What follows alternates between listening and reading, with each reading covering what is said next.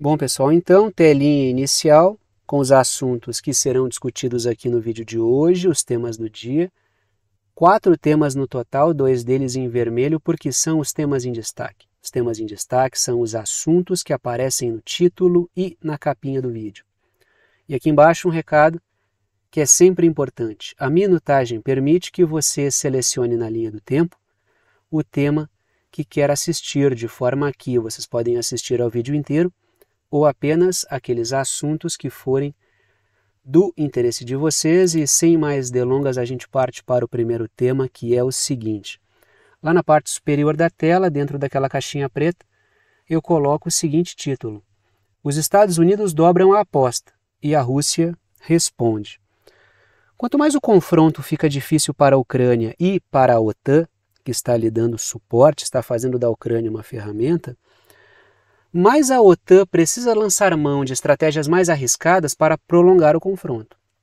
Quanto mais a Rússia oferece dificuldades e mais eh, se torna um corpo sólido que, com o avançar da guerra, ela vai demonstrando também mais resiliência, inclusive ampliando a sua capacidade de produção de munição, de armas e aumentando suas tropas, isso não se verifica do lado da OTAN. De forma que quanto mais a, a, a coisa vai avançando, mais a Rússia vai se solidificando como uma força e mais a OTAN vai revelando fragilidades e a Ucrânia, então, como ferramenta, já está completamente destroçada. Quanto mais esse cenário avança, pior é, maior o esforço da OTAN para prolongar o confronto. Quanto mais a coisa avançar, mais arriscadas serão as estratégias que a OTAN e a Ucrânia terão de lançar mão para manter a coisa, a coisa funcionando no fronte. E, e, claro, além do episódio guerra, também tem todo um jogo político que se desenvolve tanto dentro dos Estados Unidos, porque é ano eleitoral, ano de eleição presidencial, quanto entre os membros da OTAN que competem por mercado de armas, competem por influência, eh, influência política internacional. Então, para a gente entender essas falas todas que vão sendo colocadas aí pelas mais diferentes figuras, pelo Mike Johnson, que está aí, que é o presidente da Câmara dos Estados Unidos, pelo Anthony Blinken, que eu vou discutir também aqui daqui a pouco, uh, que é o secretário de Estado dos Estados Unidos. Para a gente entender todas essas falas, a gente tem que observar todo esse cenário. A guerra que acontece na Ucrânia, a guerra em si, o, o, o fato militar em si, a competição interna entre os membros da OTAN, como no caso França e Estados Unidos, competindo por mercados de armas e falas hostis, é, elas dão a entender que existe ali uma liderança que na hora H não vai faltar, isso representa vender armas na hora certa. E também tem o elemento eleição nos Estados Unidos. Então, se a gente não colocar na mesa todos esses fatores, a gente não entende essas falas todas que estão sendo colocadas. E claro, a OTAN precisa uh, lançar mão de estratégias mais arriscadas, já que encontra-se num momento desfavorável, desde o início da guerra, diga-se de passagem, mas hoje especialmente desfavorável, sem cruzar certas linhas vermelhas. Caso contrário, a guerra pode se transformar de uma guerra indireta ou semidireta, uma guerra por procuração, procuração que foi entregue para a Ucrânia, em uma guerra direta. Aí a coisa fica muito mais difícil. Trago aí a primeira matéria. O presidente da Câmara dos Estados Unidos, que é o Mike Johnson, o cidadão da foto aí, ele disse a Voice of America, que é esse portal, ele disse o seguinte: a Ucrânia deveria ser capaz de travar a guerra como eles acharem adequado. Só que aí que está o lance, né? A Rússia vai interpretar isso como uma responsabilidade da Ucrânia ou ela vai implicar os Estados Unidos aí? Porque a Rússia, sempre que a Ucrânia, né, sempre que os Estados Unidos falam isso, os Estados Unidos abarcam também a Rússia abarca também os Estados Unidos na sua crítica. Do tipo, não tire o corpo fora. Porque a ideia dos Estados Unidos é, a gente manda os mísseis para lá de longo alcance e a Ucrânia define se vai usar ou não. Aí se usar é problema da Ucrânia. Só que não é. A grande dúvida que paira aí é como a Rússia vai julgar se mísseis dos Estados Unidos realmente forem utilizados para matar civis russos. Essa é a grande questão que, que está sendo testada, porque é um elemento assim, é, é como se fosse um vai e vem. Tensiona para ver até onde é possível, se não se vê que vai dar problema, recua. Se sentir que o terreno é firme, avança, ou se a necessidade é, exigir, avança. Só que não se sabe exatamente até qual será o momento em que a Rússia vai dizer, tá, pronto, chega, agora eu vou fazer algo mais grave? E esse algo mais grave pode ser um ponto sem retorno. Por isso que existe todo esse eu vou fazer, eu vou atirar, mas não atira nunca. Só que aí no meio tem muita coisa que precisa ser analisada. Trago aí dois pontos, começo pelas letras vermelhas. O adequado, entre aspas, citado pelo Mike Johnson, né, não é Boris Johnson, é o Mike Johnson, né, abarca o uso de mísseis dos Estados Unidos para atacar o território russo. A pergunta que fica nos Estados Unidos é: os Estados Unidos virarão alvo dentro da Ucrânia? Certamente. Tanto que a Rússia já disse isso sobre o Reino Unido. A partir do momento em que mísseis do Reino Unido são utilizados para atacar em profundidade o território russo, os britânicos viram alvo natural dentro da Ucrânia. Agora, isso vai extravasar? Isso vai passar para para, para alvos nos Estados Unidos ou alvo, no, alvos no Reino Unido? Essa é a grande pergunta que paira para a tomada de decisão.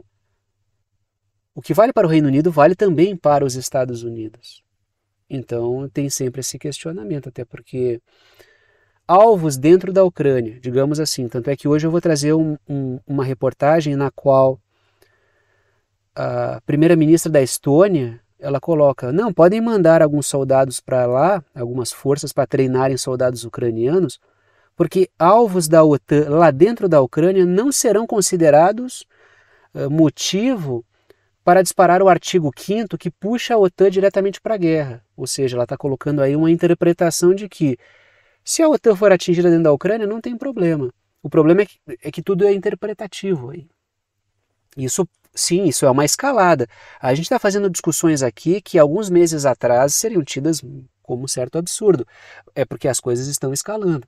Quando a gente está dentro da situação, não que eu esteja lá no meio, mas quando a gente vive esse ambiente e discute isso diariamente, a gente vai mergulhando gradativamente numa situação sem perceber. Coisas que acontecem hoje, se aparecessem no noticiário de quatro, cinco anos atrás, o pessoal ficaria de cabelo em pé. Hoje já não é podem perceber o seguinte: uso uh, de armas nucleares táticas. Isso aí há cinco anos atrás seria o fim de mundo. Hoje a gente já está falando com certa naturalidade de exercícios desse tipo, é, acontecendo rotineiramente.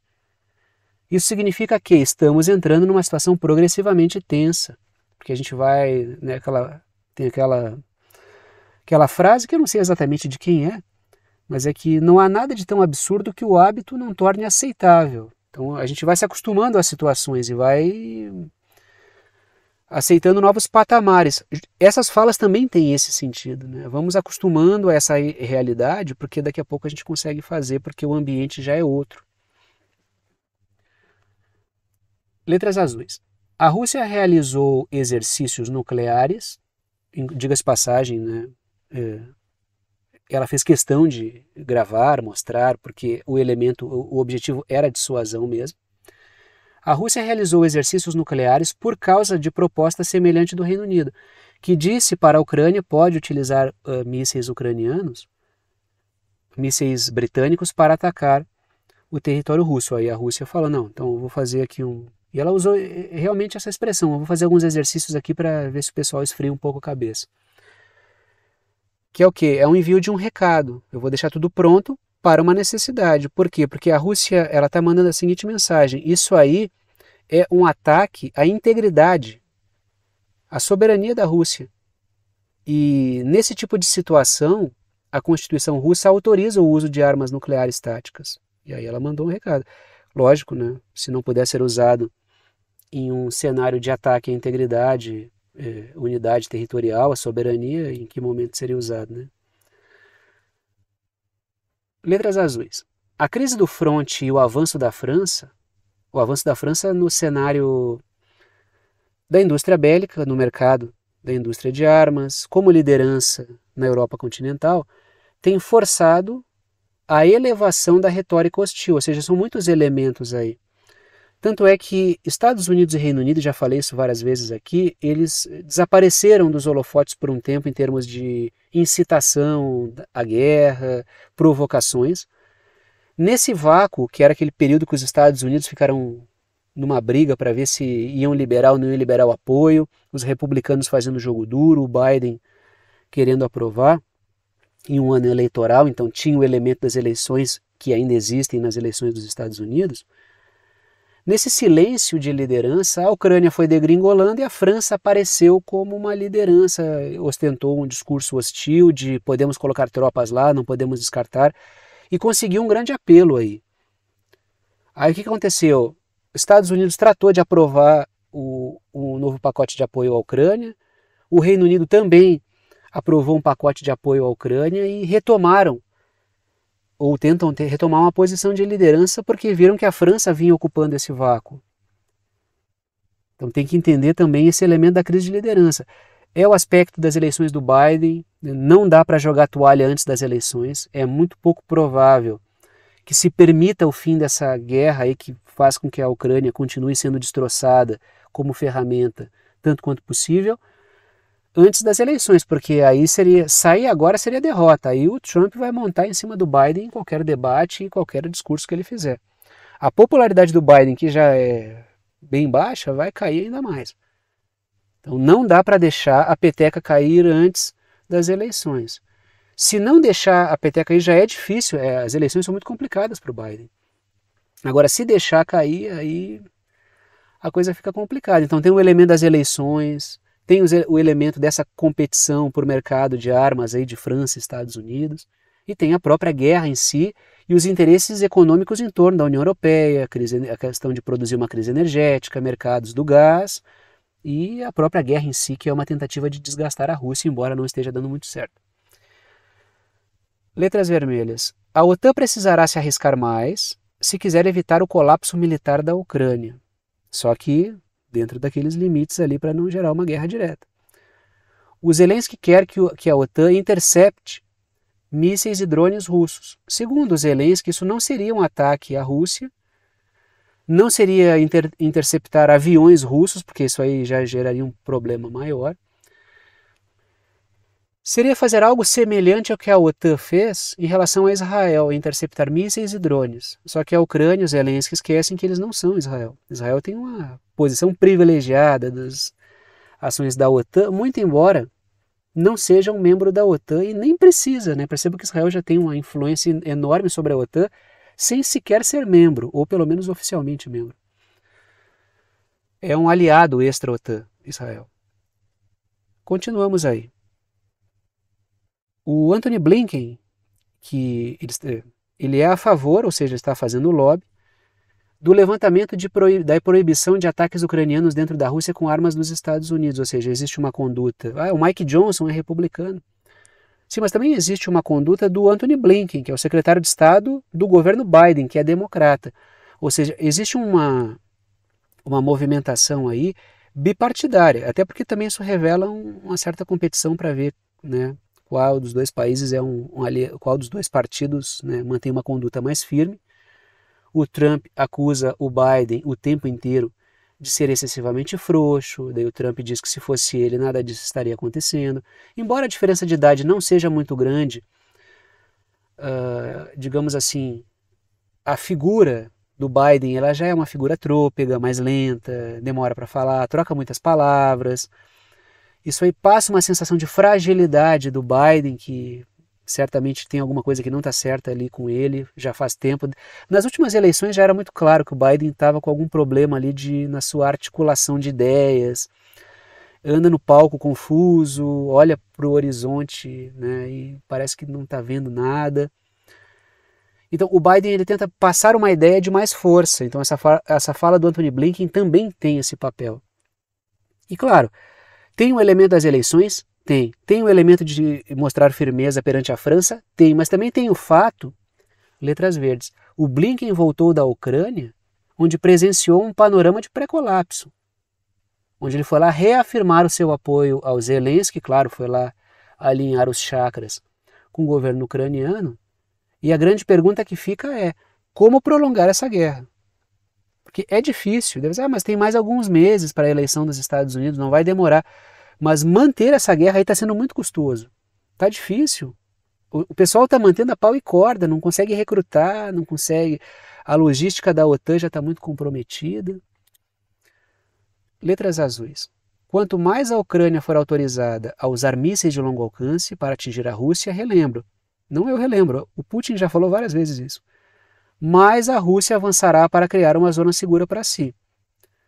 É o que está acontecendo em Kharkiv, a, a, a, Rússia busca formar uma zona de segurança para evitar ataques a Belgorod. Quanto mais a OTAN defender o, o uso de armas de longo alcance, mais a, a Rússia vai avançar para não ter o seu território atacado, vai criar uma zona de segurança. Ah, qual é o, o alcance desse míssil? É tantos quilômetros, então eu vou avançar isso aí para criar uma zona segura, é isso que vai acontecer.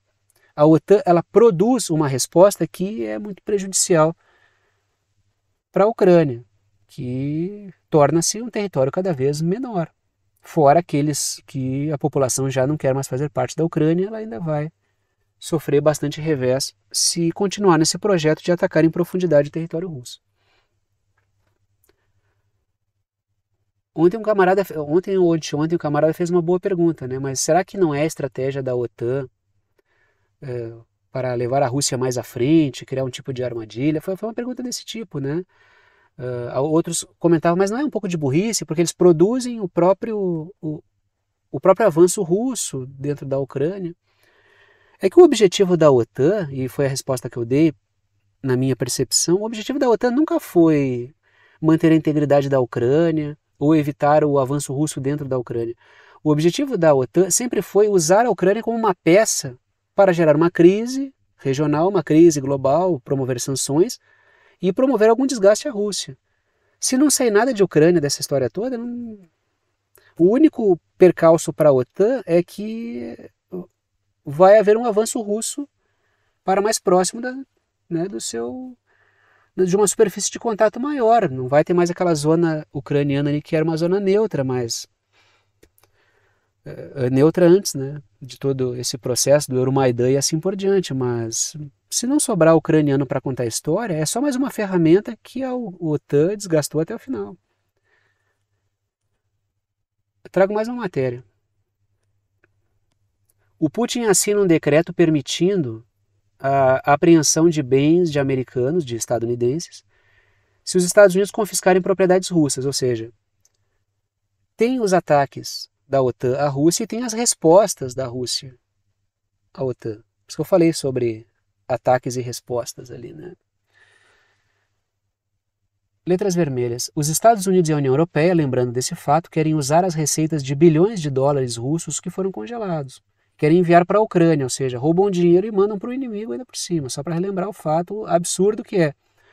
Só de ouvir isso, os mercados europeus e dos Estados Unidos, os agentes financeiros já estão ficando de cabelo branco.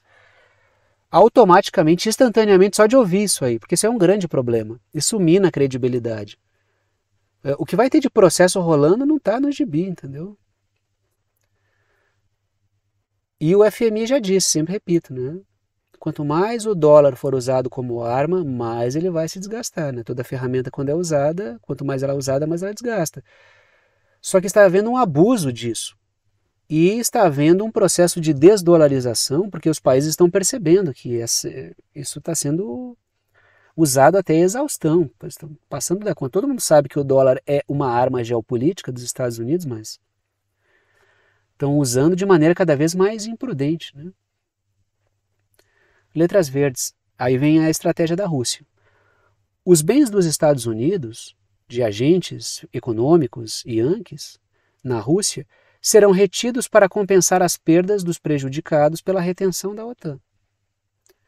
Então o cara está lá, o, o, interesse russo se sentiu prejudicado. O que, que a Rússia vai fazer se houver realmente esse envio das receitas dos ativos congelados, das, dos ativos congelados para a Ucrânia? a Rússia vai tomar na mesma proporção para recompor esse que se viu prejudicado. É uma resposta. Ninguém aqui vai dizer e ninguém no setor financeiro vai dizer ah, a Rússia que começou, porque não foi. Vários setores, vários agentes do setor financeiro europeu já estão batendo na porta dos governos para dizer, e da União Europeia, olha, isso aí não vai prestar. Mas não éramos nós que defendíamos o livre mercado, a não intervenção. Pô, a guerra pode acontecer, mas o mercado tem que continuar acontecendo. Isso segundo a, o pensamento desses, de vários desses agentes aí, né? letras azuis. Os Estados Unidos ficariam visados por prejudicarem russos e também visados porque negócios dos Estados Unidos seriam alvo da resposta russa, ou seja, vai ter gente que vai ter o seu, os seus ativos bloqueados pela Rússia que vai cair de pau nos Estados Unidos. Por quê? Porque foi uma resposta a uma ação imprudente. E isso foi avisado, discutido e super debatido. Isso não foi nem discutido e criticado só pela Rússia. Vários organismos e agentes econômicos da bolha da OTAN estão dizendo: não façam isso aí. Porque isso, isso representa perda de credibilidade da OTAN perante investidores. Qual é a confiabilidade disso? Todos os investidores, seja lá de onde forem, vão pensar, tá, mas se num lance eles congelam tudo e pegam, eh, qual é a credibilidade? A gente já viu isso acontecer várias vezes, não é uma novidade. O que fizeram com a Venezuela quando os britânicos pegaram ouro venezuelano ou quando o, os Estados Unidos, durante o governo Trump, uh, pegaram lá os ativos da Citigold. Isso tudo é manobra. Os caras fazem, isso é roubo na prática. Continuamos aí. Os Estados Unidos acusam, já que estamos falando de tensão né, na Terra, vamos falar de tensão no espaço. Os Estados Unidos acusam a Rússia de lançar arma espacial na órbita de satélite dos Estados Unidos. Aí é interessante, né? A gente volta aí algumas semanas, a gente vai pegar a mídia falando de maneira super jovial, assim, de maneira super leve, animada, quase que dando um tom geek, né, para né, essa pessoal tem esse mundo geek aí, sobre letras vermelhas. Semanas atrás a mídia tratou com simpatia os exercícios Star Wars que os Estados Unidos querem fazer aí, né, que seria um exercício de derrubada de satélite. Agora, é interessante como os Estados Unidos têm uma habilidade de acusar os outros daquilo que eles mesmos fazem. Os caras falam sobre um Star Wars e eles vão lá e acusam a Rússia. E não para por aí, letras verdes. Os Estados Unidos recentemente votaram contra uma resolução russa sobre manter a paz no espaço. Isso é uma corrida espacial para descobrir outros uh, vida em outros planetas, minérios em outros planetas? Não é bem por aí. Por quê? Porque as guerras aqui dentro dependem cada vez mais de uma constelação de satélites que mantenham comunicação, né? até porque tem a questão de drones, inteligência artificial. Guerras da quarta revolução industrial exigem isso. Com o passar do tempo, a gente vai ver muita estratégia e muito armamento ser aposentado. Vimos aí o Irã aposentando o Iron Dome de Israel, né, num, num, num sábado à noite, né? Tava ali ouvindo um som, cara, vamos vamos aposentar o Iron Dome nesse sábado à noite. Aí mandou lá uma tempestade de drones com alguns mísseis acompanhando e revelaram todas as fragilidades do domo de ferro que, que consegue barrar 90% dos ataques. Estudos já demonstraram, e isso do mundo da OTAN, que é 30% a 40% no máximo. Né? Então, assim, aposentaram o Iron Dome no sábado à noite com o uso de um enxame de drones, acompanhados de mísseis que esses sim deveriam passar. Ou seja, os drones enlouqueceram as defesas. Israel gastou aí coisa na casa do bilhão, enquanto o Irã gastou 10% disso. E aposentou no sábado à noite o Iron Dome. Então, essas guerras da quarta revolução industrial, ela, a gente vai ver muita transformação. E os satélites são fundamentais. Por isso que está tendo toda essa coisa de Star Wars aí, né? Os Estados Unidos recentemente votaram contra uma resolução russa sobre manter a paz no espaço. Repito, na ONU. A Rússia propôs o debate, mas foi rechaçado porque veio da Rússia. E aí, depois, para poder acusar a Rússia de criar uma tensão espacial. E toda vez que os Estados Unidos vão falar sobre investimento em questão espacial, eles também eles jogam na mídia uma série de matérias sobre vida alienígena, contatos imediatos de terceiro grau. Por quê? Porque cria-se um ambiente para pesquisa, investimento, né? até uma grande cortina de fumaça. Porque lá existe todo um, toda uma cultura disso aí, né? Aqui, no Brasil, eu ou eu sou muito ignorante, ou eu não vejo isso aí.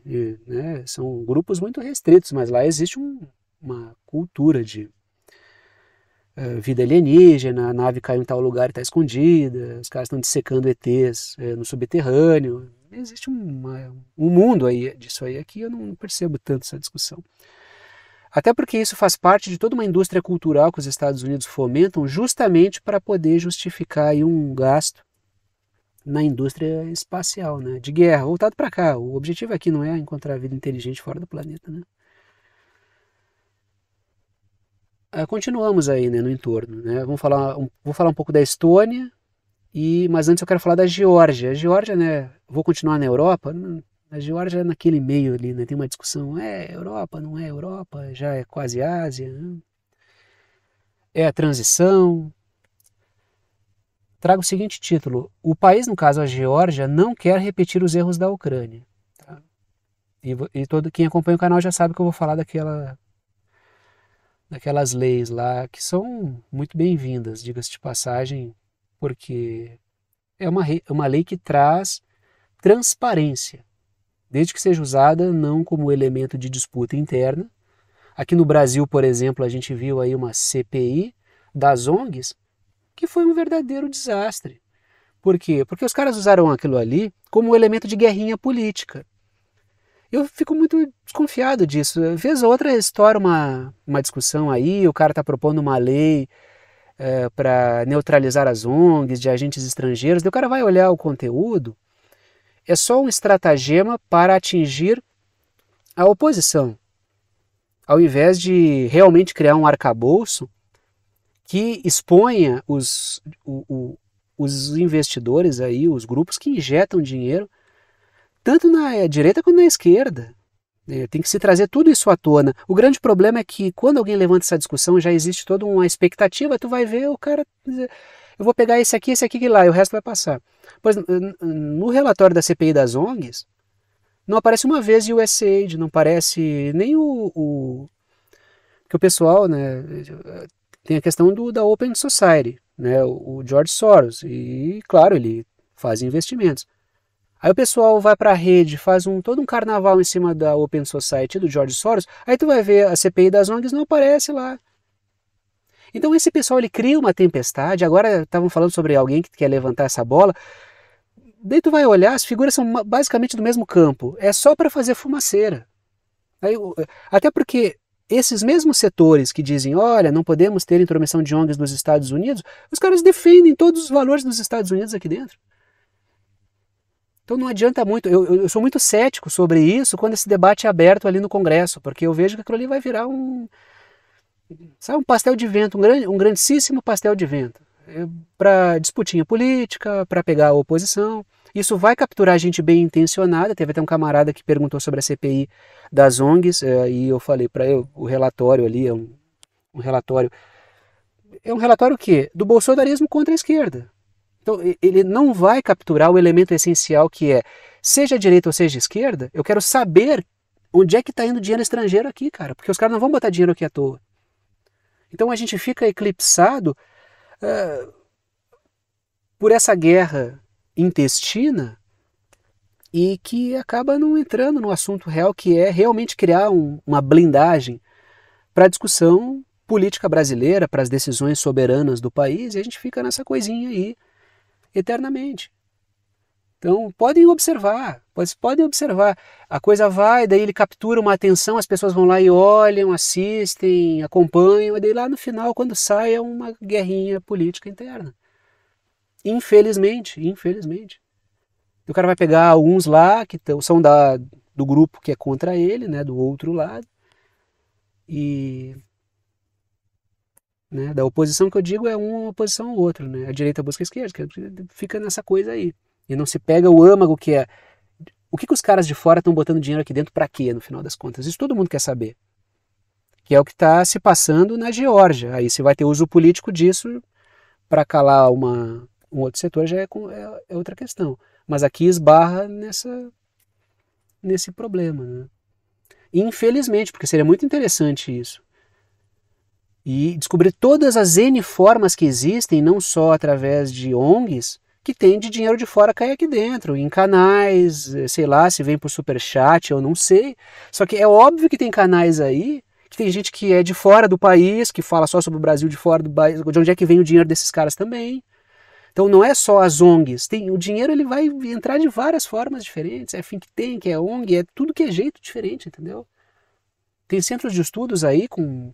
O cara está em quatro, cinco centros de estudos diferentes. Cara é palestrante de não sei o quê. Então não é só as ONGs, as ONGs também. Não todas também, tem ONGs que não são assim. Então, é preciso ver os, os mais diferentes emaranhados que existem. Mas essa discussão não vai ser feita com seriedade. Eu sou pessimista quanto a isso. Gostaria que fosse, quando aparece eu leio sobre, mas eu vou ver ali é só questãozinha intestina aqui, o grupinho contra o outro. Trago a seguinte matéria. Primeiro-ministro georgiano diz que não há alternativa à luta contra o Partido da Guerra Global. É em que ele colocou esses interesses transnacionais que influenciam a política da Geórgia e não querem ser expostos. E é uma questão de transparência. Ora, se um grupo coloca dinheiro lá, um grupo de fora, por que, que ele coloca dinheiro lá? Qual é o objetivo? Se a gente soubesse aqui todo mundo, todo canal, todo o, o, centro de estudos, que recebe dinheiro de onde e por quê, a gente olharia com um pouco mais de diferença, é, um pouco mais de cuidado aos trabalhos. Mas a gente nunca sabe, tudo é um sistema meio de caixa preta. E o que quer se fazer é o quê? É uma.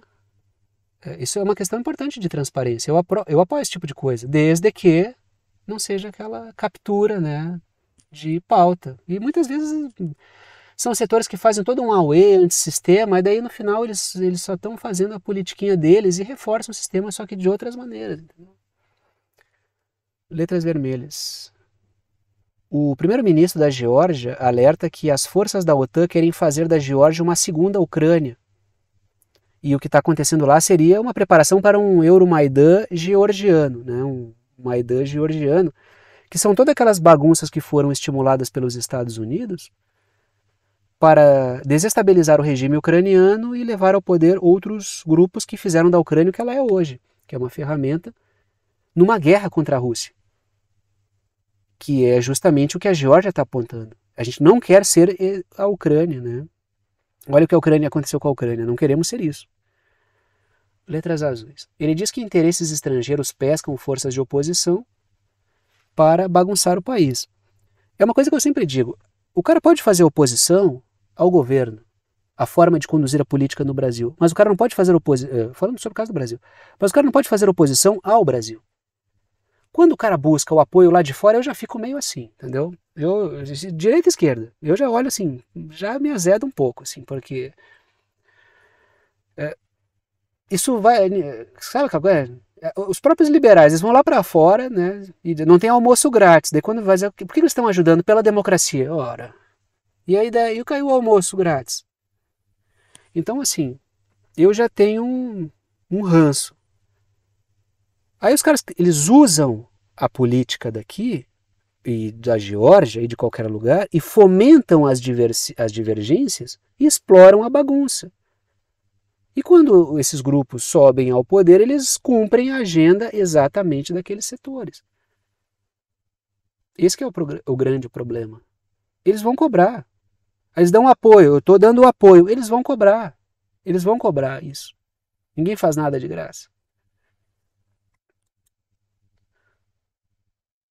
A lei exige que grupos, letras azuis, a lei exige que grupos que recebem dinheiro de fora identifiquem financiadores. É, questão de transparência. E os Estados Unidos e a União Europeia estão ameaçando parlamentares da Geórgia com sanções. Então continua, né? A tentativa de abertura de um outro fronte. E por falar em fronte potencial, esse aqui, né, é um, um grande fronte em potencial. Primeira-ministra da Estônia revela que alguns países já estão treinando militares na Ucrânia, o que todo mundo já sabe. Só que ela também disse, letras vermelhas, ela diz que os países não devem ter medo de enviar mais forças de treinamento, porque se forem atacadas, isso não ativaria o artigo 5. Aí a mulher ali já está jogando, a, a Kaya Kalas, ela já está jogando na interpretação. Porque, porque se criou toda uma ideia nos países bálticos e em vários do leste europeu, de que a Ucrânia é o último bastião de segurança. Se a Ucrânia cair, a Europa inteira será tomada. Isso é uma bobagem gigantesca, porque nunca foi o objetivo da Rússia dominar a Ucrânia. Basta ver as operações russas, são pontuais. Agora, esse discurso que tomou conta de vários países, ele está sendo vendido, vamos defender a Ucrânia, porque se cair a Ucrânia, depois é a gente. Letras verdes. Governos do Báltico vendem a ideia de que fortalecer a Ucrânia é blindar-se. Só que eles vão acelerar a guerra com isso. Porque vai chegar num dado ponto que o nível de entrelaçamento ali é tanto que a guerra já vai saltar direto para o Báltico. Pode acontecer. Então, na ânsia de não ter uma invasão, uma guerra, podem acabar acelerando isso. Que é uma profecia autorrealizável, né?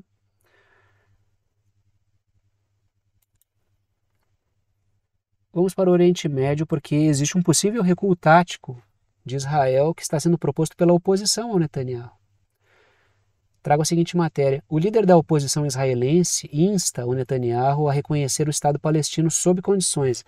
Que assim, o projeto sionista não quer isso. Ele está tentando criar um bem bolado ali que pareça um Estado palestino, mas não seja para valer, sabe? Assim, vamos criar aqui um, uma coisa artificial onde os palestinos não governam para mostrar para terceiros, acalmar o ambiente e poder retomar os acordos de Abraão. É isso que a OTAN está buscando. Por isso que é preciso ver com muito cuidado toda essa boa vontade de vários países em reconhecer o Estado palestino. Isso pode se transformar aí num projeto que retira da mão dos palestinos é, uma possibilidade de governo sobre um Estado próprio. Até porque setores nos Estados Unidos também defendem essa iniciativa. Ela pode ser muito positiva, mas depende muito da forma como isso vai ser concebido. Os países do Golfo defendem. Muitos países do Golfo só querem que esse conflito acabe, que a tensão ela reduza, para fechar negócios com Israel nos mais variados setores. Tá? Então, precisa olhar com cuidado essas propostas aí. O Yair Lapid, que é o, o, líder da oposição, ele culpa o ministro da Segurança Nacional, que é o Ben Gvir, figura do extremismo religioso sionista, por impedir o Netanyahu de adotar tal posição. Então ele está criando ali uma um campo no qual eu sou o setor da política israelense que tem uma conduta mais humanitária, apresentando-se como uma via de que Israel tem sim gente que quer parar o massacre, aí devolve os reféns e é possível retomar os acordos de Abraão, e com isso há um discurso consistente, por quê? Porque ele ganha o apoio, embora perca o apoio de uma parte considerável da sociedade, inclusive de setores políticos em Israel, ganha o apoio de setores estrangeiros. Da OTAN, por exemplo, que não querem isso aí. Querem que esse confronto acabe, porque não é do, a, OTAN não tem nada a ver se vai ter palestino ali ou não, ela não tem nenhum problema com isso. Uh, isso é uma questão do sionismo. Então, esse episódio em Gaza, ele é, é ele é prejudicial para os acordos de Abraão, que seria aquela tentativa de criar um braço islâmico, um braço, um braço da OTAN no mundo islâmico, a partir de relações de países islâmicos com Israel. É, explorando essa coisa de xiitas e sunitas, é, criando uma frente contra o Irã. Só que né, o massacre em Gaza torna muito impopular fazer esse tipo de coisa. Letras vermelhas. Eu circulei a faixa de gás em vermelho aí. O Lapid sabe que se Netanyahu fizer isso, perde a base, a maioria e o governo se desfaz. Aí a oposição ganha espaço. Então ele planta também a semente da discórdia. Olha lá, é o abandona o Ben Gvir. Só que se o Netanyahu abandonar o Ben Gvir, ele desmorona. Se o Netanyahu pudesse formar maioria sem o Ben Gvir, com certeza ele formaria. Ele só botou essa cachorrada louca para dentro da coalizão porque ele não tinha como formar maioria assim essa galera aí. E desde o início eu falo, Netanyahu não ia conseguir segurar esses caras. O Netanyahu achou que conseguiria ir conduzindo e articulando, mas não. Letras azuis. O Lapid quer o apoio de setores da OTAN que visam o avanço dos acordos de Abraão. Não é que o Lapid seja pró-palestino, pelo amor de Deus. A questão do Lapid é, vamos pensar estrategicamente aqui. E eu estou pensando nisso. E ganha apoio, claro. Os setores da OTAN todos querem isso. Né? Ninguém, uh, a gente pode colocar a OTAN como defensora de todo tipo de barbaridade, mas a questão dos palestinos não é o foco da OTAN. Ela não, isso é uma questão de Israel, é uma questão do sionismo que tem um projeto expansionista colonialista. Se isso puder ser feito sem trazer problemas, a OTAN não tem problema com isso. Não, pode, podem patrolar os palestinos aí, desde que isso não gere uma crise regional que atrapalhe os nossos planos. Agora a questão é que atrapalhou os planos. Letras azuis.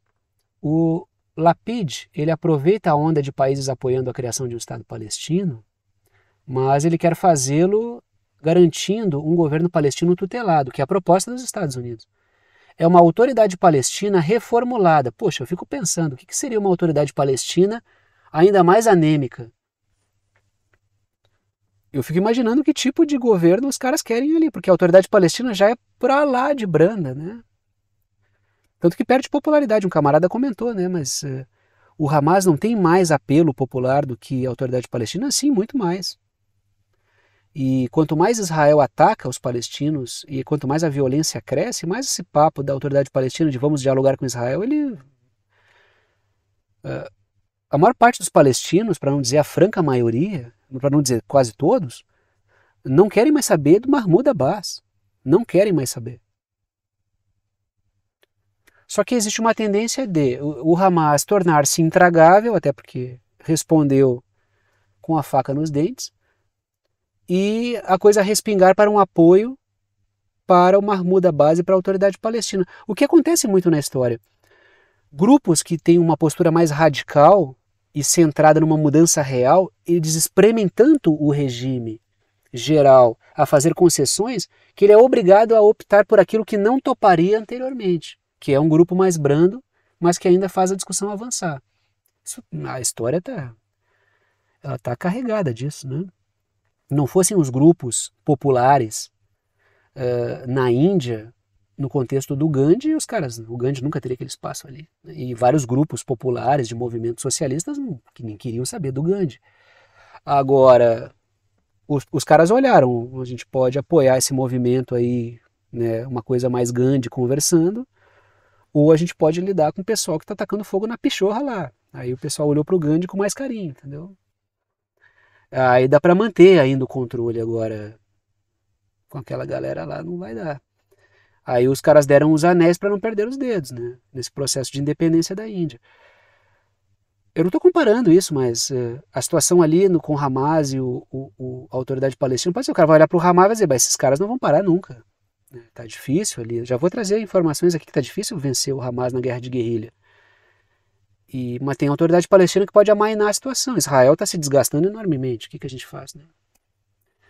Letras vermelhas. Israel vive enorme desgaste militar, de imagem e uma tremenda perda de apoio internacional.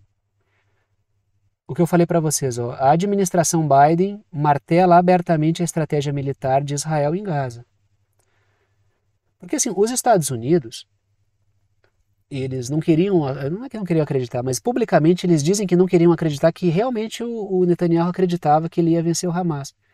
Porque na verdade nem o Netanyahu acredita nisso. Ele quer manter essa guerra indefinidamente porque ele não quer nem pensar no que vai acontecer quando acabar tudo isso aí. Só que não vai dar para manter para sempre. O Netanyahu está na expectativa de vamos levar isso até quando der e vamos ver se a perspectiva, o panorama muda. Só que está piorando o panorama, né? Um desfile de altos funcionários aumentou as suas críticas a Israel, sinalizando profunda frustração com a campanha anti-Hamas do país. Então, os caras estão vendo que por aí não vai dar. Não é que eles estão apoiando os palestinos, é porque não vai dar por ali. Está dando crise no projeto. Letras verdes. A inteligência dos Estados Unidos aponta que Israel matou apenas cerca de 30% dos combatentes. Apenas eu digo porque, né? Eu queria, disseram que iam eliminar, que ia ser, ia ser um passeio no parque. 30% dos combatentes do Hamas. O que, Israel está matando muito mesmo é mulher, criança e idoso. Aí Israel está matando mesmo. Agora o Hamas, combatentes, não está matando muito não. Ou seja, tem lenha para queimar no Hamas.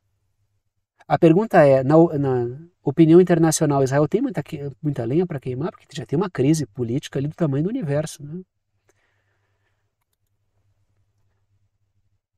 E detalhe, o portal político é um portal pró-OTAN. O governo dos Estados Unidos é o governo dos Estados Unidos. A inteligência dos Estados Unidos é a inteligência dos Estados Unidos que está apontando esses números. Não sou eu e nem um canal palestino. Tá? Só para deixar muito claro. Ah, isso aí é número palestino. Aí como tem gente que gosta de botar bandeira dos Estados Unidos, de Israel, da Ucrânia, do Reino Unido, de toda porcaria que existe no mundo, uh, é bom trazer esses números deles próprios. Os caras, ah, mas então é inteligência dos Estados Unidos, ah, então, então é verdade, né? Então é verdade. Então aceito. Se foi os Estados Unidos que disse, é verdade. Letras azuis. Os Estados Unidos apontam que o Hamas mantém intactos também inteligência dos Estados Unidos, mantém intactos 65% dos seus túneis e que conseguiu recrutar milhares de novos combatentes. Que é o que o Charlie Brown lá, né? É o, o Charles Brown, que é o novo chefe do Estado-Maior nos Estados Unidos, ele disse meses atrás.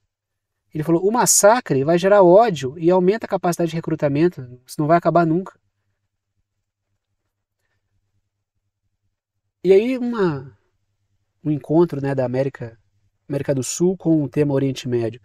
Porque o Gustavo Petro, presidente da Colômbia, ordena a abertura de embaixada em território palestino. Então ele já está dando um passo a mais, ele quer abrir uma tendência. E o Petro sempre foi muito vocal contra o que Israel está fazendo lá. Eu tenho lá muitas críticas ao Petro, sempre olho ele com né, um olhar desconfiado, mas também fazer política na Colômbia ali em movimento popular não deve ser nada fácil, dado o histórico da Colômbia e, sobretudo, a contribuição que Israel deu para isso. Né? Porque Israel foi essencial no massacre político que aconteceu na Colômbia ao campo popular. Então, muito do ódio que o, o, o Petro revela quanto a essa pauta sionista e com razão de massacrar, ele também traz por viver na própria pele, como um cara do campo popular na Colômbia, que. Porque tudo que Israel fez ali. Israel treinou, executou e, e praticou um verdadeiro extermínio do campo popular durante vários anos, a serviço de setores colombianos, a serviço de seus próprios interesses. Então, o que Israel faz na Colômbia faz com que, em especial, o campo popular colombiano tenha ainda mais nojo da, do sionismo. Basta vocês pesquisarem todas as relações entre o campo neoliberal na, na Colômbia e Israel na perseguição a vários setores de oposição. Isso é um, um verdadeiro morticínio que se praticou, milhares de pessoas foram mortas.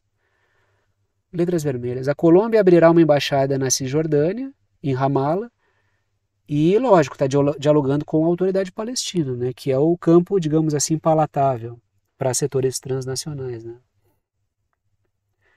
Aí, letras verdes. Israel atuou pesadamente no que a Colômbia chama de genocídio político. A Colômbia usa essa expressão do campo popular. Tanto é que várias figuras que praticaram esse, esses massacres, e isso aí cortou vários governos, e vem até governos mais recentes aí, ah, chegou até o governo Ivan Duque, toda essa estrutura né, de montagem de grupos paramilitares que, que matam uh, e que se envolvem com narcotráfico, então tem todo um, um esquema ali montado. Tudo isso foi Israel que ajudou a engendrar na Colômbia. E muitos desses caras estão sendo julgados agora. Por quê? Porque o, o, o sistema ele vai eliminando peças que já foram úteis para tentar sair um pouco mais limpo desse processo. A história da política da Colômbia é muito violenta. Israel tem uma participação muito grande nisso. É por isso que o Petro, ele, quando ele, ele, ele tem uma conduta mais dura com Israel.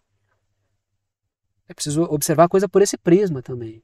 Pode ser que isso tudo lá vá se verificar no final, uma manobra ali que nem os palestinos governem muito. Hum, isso se torne algo ruim. Mas uh, o Petro, quando ele ele, ele não coloca só algo dele, é algo da, do campo popular colombiano, né, que foi é, massacrado com a ajuda de Israel, né, e por Israel também. Aí vamos para o continente africano, porque o, o país da África, República Democrática do Congo, tenho falado bastante aqui, né, vários eventos recentes aí, denuncia uma empresa dos Estados Unidos, que é a Apple. Matéria da Reuters, mídia corporativa. Né? É, isso aí é mídia da China, é mídia da Rússia. Não, é a Reuters. Advogados da República Democrática do Congo afirmam ter novas evidências sobre a cadeia de fornecimento de minerais da Apple. Está aí a República Democrática do Congo pintada de amarelo. Qual é o problema? Letras vermelhas. A empresa estaria comprando minerais explorados por grupos rebeldes no país, né, que é, está falando das minas de cobalto. Ou seja, ela compra minerais de grupos rebeldes e alimenta terrorismo e guerrilhas armadas dentro de um Estado soberano. É, qual é o problema dela comprar? É o mercado, livre mercado, ela compra de quem ela quiser. Só que assim, tá comprando de grupos criminosos, aí pode? Porque o pessoal gosta de encher a boca, ah, eu sou contra o crime organizado, eu sou a favor de, da lei. Quando o cara começa muito, eu sou a favor da lei, né? Assim, ó, família, nação, pai, Deus. Eu já fico olhando assim, pensando, meu Deus, o que, que esse cara tem no passado dele ou no presente que ele quer esconder? Porque não pode isso aí, né? Na verdade, estão alimentando um regime, um, um, um grupo que ataca a soberania de um país. Isso é, isso é ilegal, isso é crime. Né? A República, de, a Apple não se manifestou, pelo menos até o momento em que eu peguei essa matéria. A República Democrática do Congo acusa a Ruanda de apoiar o grupo M23, e né, Ruanda seria uma intermediária de interesses maiores. Aí muitas coisas começam a fazer mais sentido. Não, por que, que Ruanda se intrometeria nisso? Primeiro que tem interesse econômico, poderia ter um interesse só de Ruanda nisso. Mas parece, pelo que tá, essa investigação está trazendo, que existe gente mais graúda no meio disso tudo. Aí o cara vai se sentir humanitário lá, né? Ah, eu estou fazendo aqui toda uma política com o meu, né? Com o meu aparelho, fruto de e essas minas de cobalto, muitas delas com trabalho infantil, né? E, e esses grupos aqui, eles matam uma porrada de gente aí de maneira indiscriminada. O Congo comprou drones chineses, inclusive, falei sobre isso recentemente com vocês, para combater esses grupos aí. Né? Tem outras forças de, de países vizinhos aí que estão no Congo também, para ajudar no combate a esses grupos rebeldes, até porque muitos países vivem isso, né? Vivem esse problema aí de ter os seus recursos e ter rebeldes ali pagos por outras forças transnacionais para não deixar o país ter acesso a isso. Letras azuis: os minerais passariam por Ruanda, Uganda e Burundi, onde teriam seu passado escuso apagado e virariam um produto que chegaria até a empresa limpinho e ético para ser comprado, ambiental e inclusivo. é.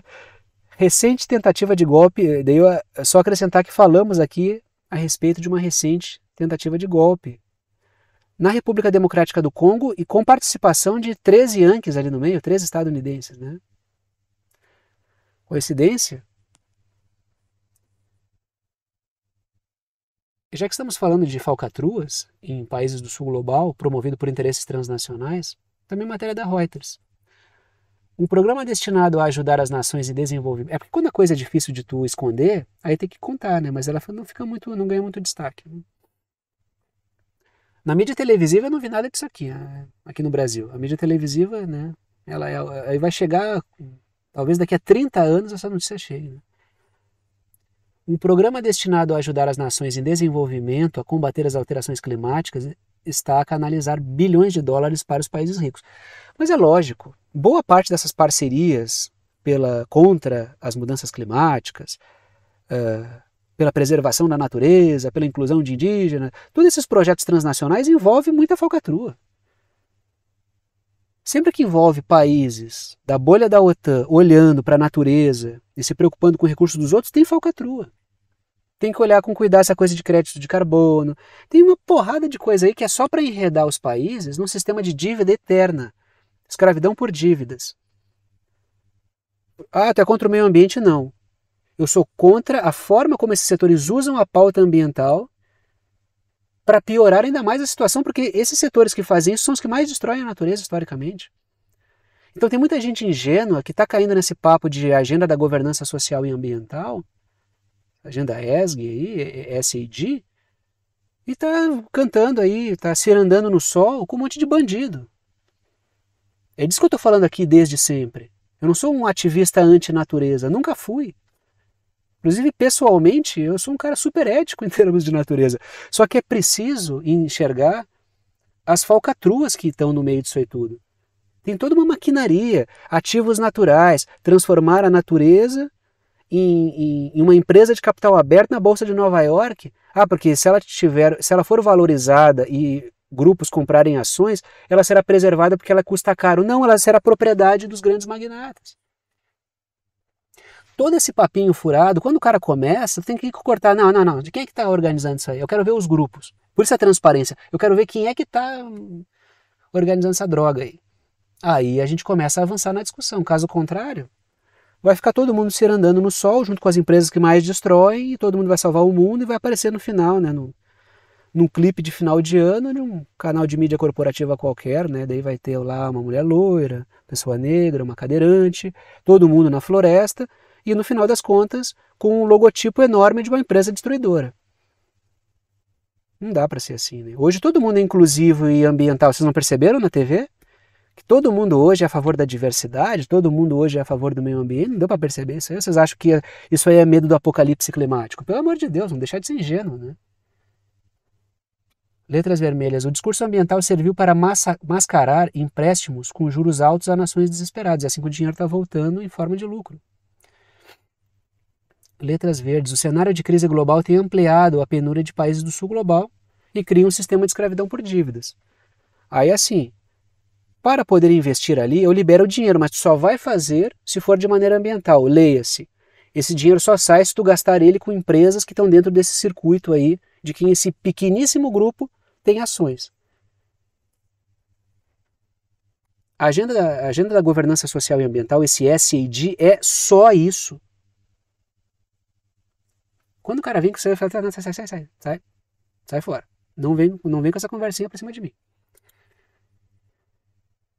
E aí chegamos ao momento final do vídeo, que é o momento de passar o chapéu, pedir apoio financeiro para aqueles que gostam, podem e querem apoiar o canal.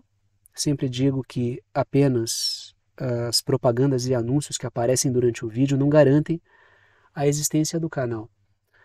Se eu fosse depender apenas da receita das propagandas, ficaria difícil manter esse trabalho com o nível de dedicação que ele exige. O que garante efetivamente esse trabalho é o apoio dado por alguns de vocês, apoio financeiro, apoio pelo qual sou extremamente grato pela confiança no trabalho.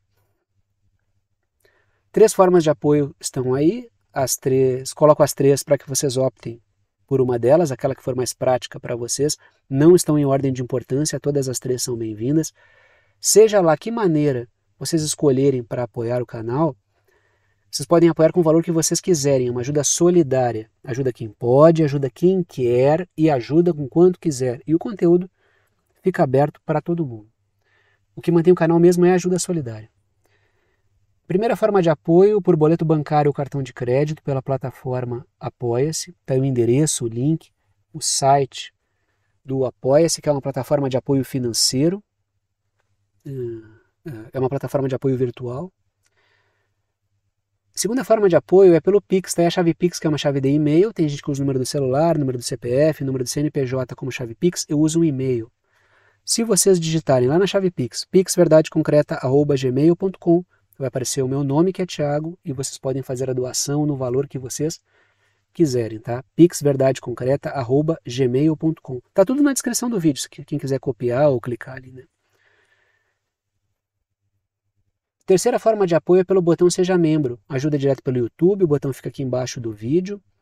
Tem várias faixas de valor, vocês escolhem ali com que valor querem apoiar. Repito, as três formas são bem-vindas e repito também, agradeço aos que apoiam pela confiança no trabalho. Vou parando por aqui e tchau para vocês.